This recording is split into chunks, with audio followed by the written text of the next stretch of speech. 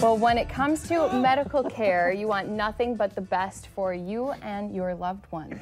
I'm laughing because the NFL guy and I, he's a middle linebacker. I play QB, so we're, we're rubbing each other We're here a little tackling bit. Chris Berg later. the Cobalt Rehab tackling. Hospital is going to open in early 2018. Here to tell us more about it are Richard Fisk, Carissa Olson, and former NFL player, I will say middle linebacker as well, Steve Toll. To all three of you, thank you so much for being here. Thank you. Uh, let's start with what, what is this whole program about, Richard? Well, let me tell you a little bit about Cobalt Rehabilitation Hospitals.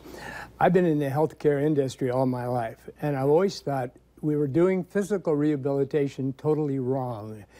The patients are not, in doing rehab, are not sick. They're broken, and our job is to get them mended and back into society. What we've done in the past, is we put them in big hospitals. They have a rehab unit there. The hospital is full of people that are sick, and your chances are when you come out, you'll be sicker than when you went in.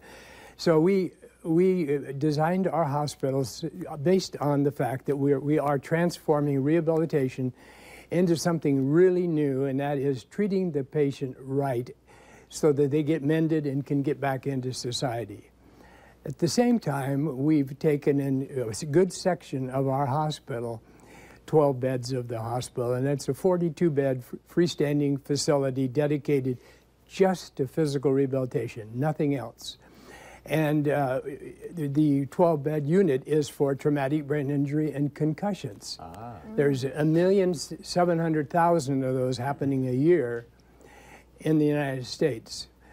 The NFL has brought it to the forefront with all the problems they have there, and Steve has been working with us on that front because it, we we're not we know we're not going to fill up with NFL employees, but but we do know that we will have a very successful program to, to take care of all the people that have So let me ask you this: Who, Who's your ideal client? Is it like a guy that wrecked his, his knee? Is it a shoulder? Is it any like?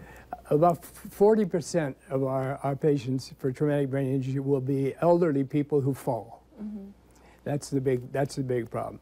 And then it's going to come from accidents. It's going to come from the Wounded Warrior programs.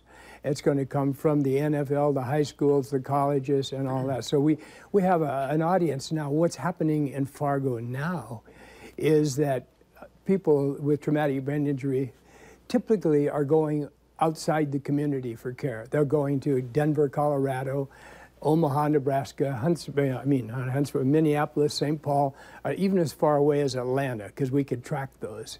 So we, our go- job now is to keep everybody here clo- close to their home and their loved ones. So it's all neurologically based, and obviously then we've got this encephalitis issue going on with the NFL. And uh, what what's your role in that situation? Uh, Richard touched on it. If you look at um, an NFL career, I've had 17 different surgeries that have needed rehabilitation. You were the same way. An athlete knows what they need to do to get back. And once you've gone through the surgical suite and you're now, you recover, now you've got your rehabilitation. The wide range of injuries, which most people think about rehabilitation to the elderly.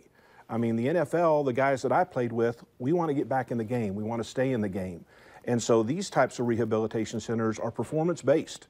You come in, you've got goals. You've got, I mean, you're going to get better, just like we did in the off season, to come back and play in the game again. Now, we will never play in the game again, but at least we will know when we're whole again.